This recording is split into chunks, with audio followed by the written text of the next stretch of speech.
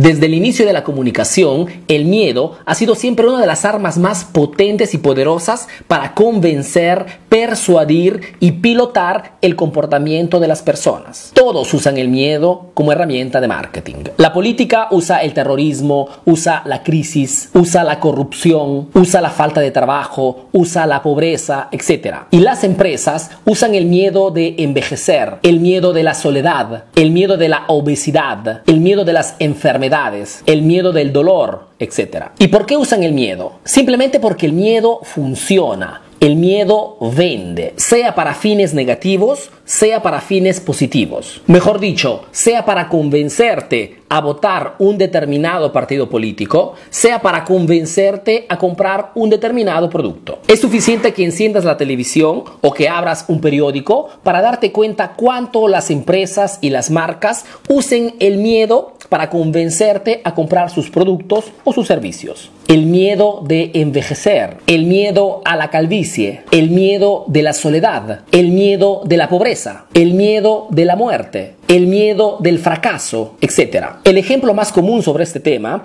es que hasta los años 80 todas las empresas que vendían cremas solares decían a sus clientes compren nuestras cremas solares para tener una mejor abronzatura.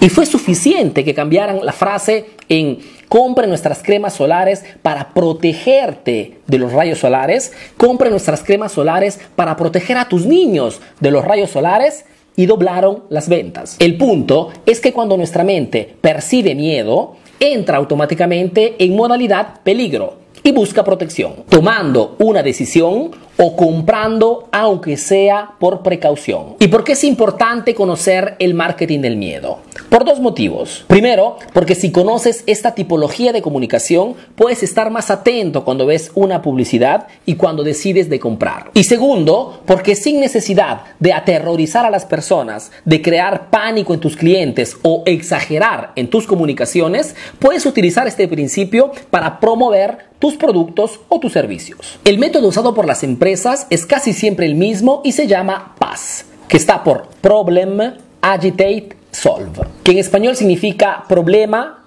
agitación y solución. Mejor dicho, cuando quieres persuadir o convencer a un cliente a comprar tu producto, los pasos son tres. Individuas un problema que provoque dolor, preocupación o miedo en tu cliente, lo pones en muestra en tu comunicación, mejor dicho, agitas el problema y al final le das la solución. Mejor dicho, tu producto. Por ejemplo, si tienes una cevichería, podrías comunicar con tu cliente en este modo. Problemas de náuseas e indigestión con el pescado. Solo nosotros te garantizamos pescado fresco todo el año. Probar para creer. O por ejemplo, si eres un dentista, podrías comunicar en este modo. ¿Sabías que 8 de cada 10 niños sufren de caries por falta de prevención? El 27 y el 28 control gratis para tus niños. Te esperamos. O por ejemplo, si tienes un gimnasio, podrías comunicar en este modo. Cansado de estar gordo o cansado de estar gorda, tenemos la solución. Tenemos el único sistema que te hace perder 10 kilos solamente en un mes. Te esperamos. El mecanismo es siempre el mismo. Problema, agitación del problema, solución. Un método simple, eficaz y que puedes poner en práctica mañana mismo.